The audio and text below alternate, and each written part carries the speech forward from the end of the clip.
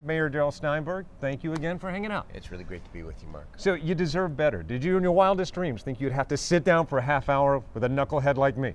Well, you know, it was a very tough decision, but uh, I thought about it. I said, why not? this is the one arena you know you're safe because technically I'm not a journalist, so you know there's no ambush. Well, you know what? I'm, I'm ready for anything. You know? Well, good. Because that's what I signed up for. I do have an ambush. I know I promised your people it wouldn't happen, but I found some compromising no, photos. no. And I'd like to share them right now. Turn this off. Who is that? what do we need to know about that guy? You know, some say a face only a mother would love. That's not true. I got to say, you're adorable, man. Look at that. I mean, actually, I think um, I look the same. Just Things- a little bit older. Things have been said, but if people said to me, What do you think about Mayor Steinberg? I'd rarely say adorable. Until now. Until now, yeah. You know, I think anytime I go to a uh, community meeting where people are yelling at me, I'm just going to put up that picture. exactly. this lives inside. Well, that's how old are you Exactly. there? How old do you think? I think I was two or three, maybe four. Okay. I don't know, maybe 15. What is your? That's what I looked like at 15. I was a late bloomer. What um, what memories do you have? Now, what was your first memory? Clearly, you don't remember three, but what is your earliest memory? You know, I remember a good childhood. I grew up middle class down uh, on the peninsula uh, in the Bay Area, and, you know, had two loving parents, two younger brothers, and, uh, you know, had, uh, we weren't wealthy, but, you know, had everything we needed, including a community. I, you know, for me, got a little older, it was sports. Flag football, basketball, little league baseball Sure. then tennis, you know, just depended on the season and community always, you know, provided uh, for me and, you know, all the, you know, that old book, everything I know I learned in kindergarten. Sure. It's kind of true. Everything I know I learned, you know, as a young guy about, uh, about life. At at that age, at kindergarten, you know nothing of politics, but if you would have said to you at kindergarten, would you like to be mayor someday? What would the response have been? What is a mayor?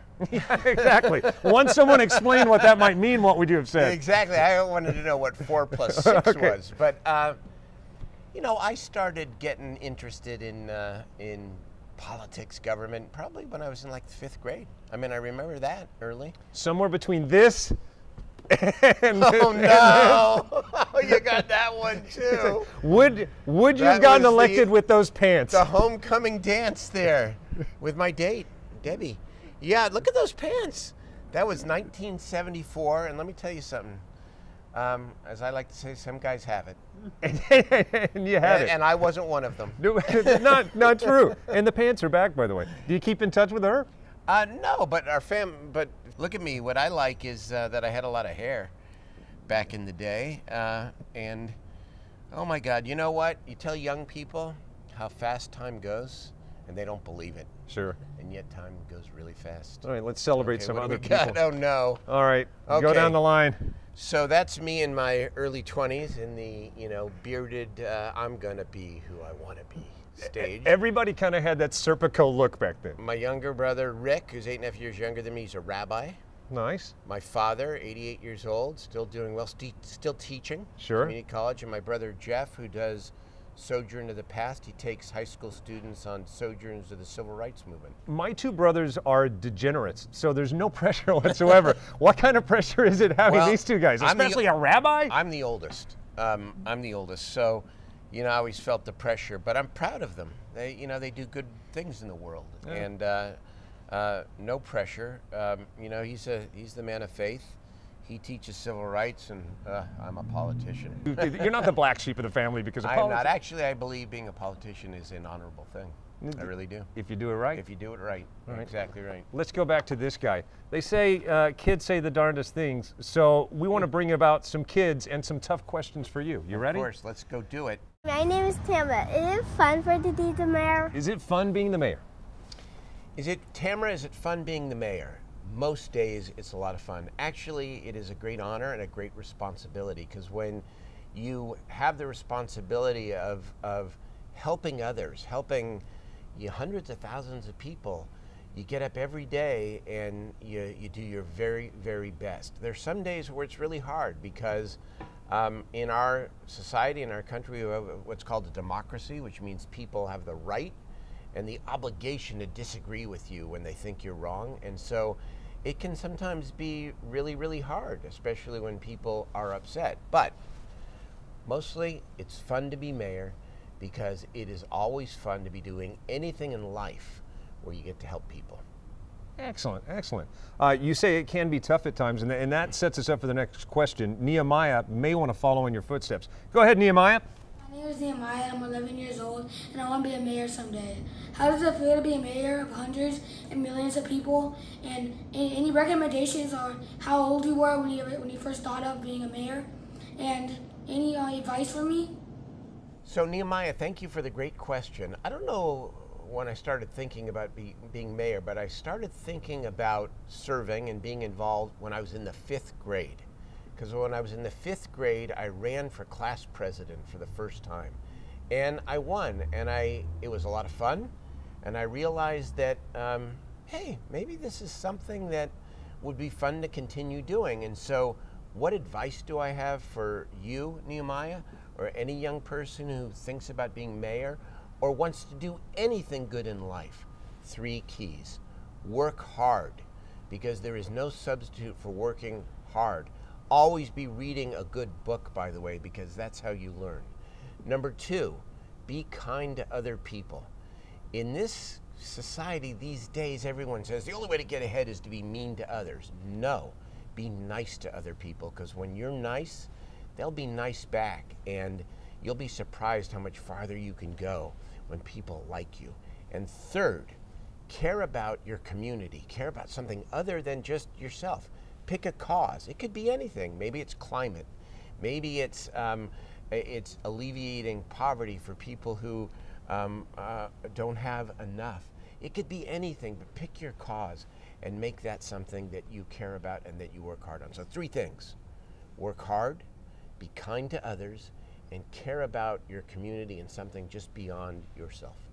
My goodness, you're good at this. Have you ever thought of running for office? I, you know, I, I, I've, I've thought about it and I've rejected it. That's it. I think you got a shot. If Nehemiah were here, he would probably ask a follow up question I wanted to jump in on. What Go. book are you reading right now? I'm always reading a book, and right now I'm reading The Best and the Brightest by David Halberstam about uh, the Vietnam War and how some of the leaders who got us into the war were among the quote best and the brightest, but they didn't necessarily have very good judgment. And so I'm always reading about leadership and about how people um, from history have done really good things and sometimes uh, not so good things. And you know, you try to incorporate all that and, and, and learn. You got to be a lifelong learner. And I always say to young people, read books, books, Sure. books, books. Yep. That way, other people can make the mistakes for you. You can learn from their mistakes It- rather than make your own. Exactly right. Exactly right. Plus, reading is just fun. All right, yeah. Uh, okay, uh, I need to set you up for this. A lot of pressure now because this is a big star. This is a YouTube influencer. His name's Zayden. Are you ready? Zayden, let's go. All right, Zayden, hit it. Hello, Mayor Steinberg. My name is Zayden Hoover, and I have a question to ask. What's the hardest part of being mayor? Well, there are a couple of hard parts of being mayor, Zayden. I think the most, uh, the hardest thing is wanting really badly to see everybody in your city um, doing well and having a good life, and knowing that isn't always the case for people. That people are struggling and wanting to do better and wanting to do more and uh, wanting to see people's lives better.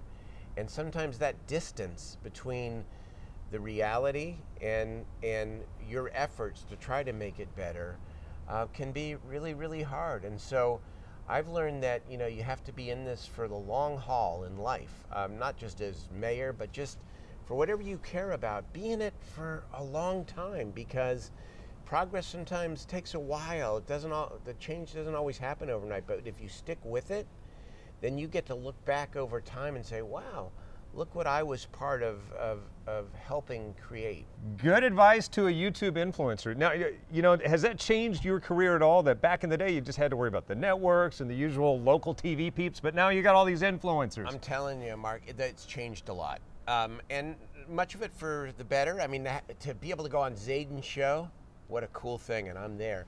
Some of the social media, I think, has got a downside to it. I really do, because it allows people to be anonymous and, and be a little bit meaner. You know, Sure. people are really not mean when they see you face to face, Yeah. usually. But social media, I think it's something we got to grapple with because it's got a lot of good things, and then a lot of things I think we have to be careful about. I want more. I want kids to have more interaction with each other. I want the dialogue to be in person. I want the debates to be in school or or in the community, not just over social media. So that's my plug for the day. Absolutely. Uh, did you hear that, Zayden? Take that to your show. Yeah. Uh, all right, Mia has a question for you. Go ahead, Mia. Hello, my name is Mia Robbins, and I go to RFDC, and I'm eight, and I have three questions for you. I wanted to ask you, what are you gonna do to help the homeless over Sacramento to like give them food? And the second one is, what are you gonna do to help schools and have people learn more? And the third question is, what are you gonna do? Like, I mean, I heard you're hiring like police officers, and I want to be a police officer when I grow up. All right, a lot to think about there. She went for the deep dive and three questions. So, homeless, schools, and she wants to be a cop. Well, hey, three great questions. Um, let me start with homelessness. This beautiful city, which um, is growing and creating so much new opportunity, its biggest challenge is affordable housing and homelessness. No question about it. I probably spend half my time on this issue. And let me tell you something we are serious about doing something, if we can't cure it, to at least make it better. What we're doing in the city, we've identified about 25 different sites where we're going to build shelters. You know what I believe in this society, in this city, and everywhere? There should be a right to housing. Housing should not just be an if, an option. People should have a right to safe shelter and housing. That's what we're going to try to achieve in the city. Question number two. Uh, what was question number two again? She wants to know about the schools. About the schools. So the city does not run the schools, but we work very closely with the schools. And um, we're doing a lot to invest more in youth programs for young people after school. We, um, uh, we got a bunch of money from the federal government through President Biden's um, um, American Rescue Plan, and we're putting a lot of that money directly into job training uh, and youth programs. And so we work with the school district because, you know, a, uh city is only as good as its schools and and our kids. Sure. And man, you know, remember that picture back there? It turns over really quickly, and those kids, you, Mia, you're going to be in positions like mine someday soon, and we want to make sure that you uh, have every opportunity to succeed in life. Speaking of which, yeah, during the commercial break, in fact, we almost thought we were going to have to stop down because we had police activity, and she wants to be a police officer. Well, you know what? Um, I encourage you, Mia, because uh, to be a police officer is to be a, a public servant who um, protects the people and helps the people. You know, uh, it's a tough profession, and, and in these days, it's a tough profession because profession because there are some police officers, obviously, who have not done the right thing, but the vast majority do. And um, to become a police officer, to be able to help the community, uh, to be able to protect the community, I think that's a great thing, and I think you should go for your dream. Absolutely.